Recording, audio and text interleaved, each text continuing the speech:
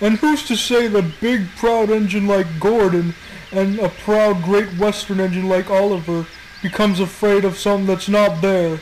That's so out of character. Shut it, Henry. What they saw was real. Had you been there, you would have believed it. I took the story of Timothy seriously, but all this about an American locomotive that we know nothing about, that I find hard to believe. Well then, if you don't believe it, then why don't you go and see for yourself?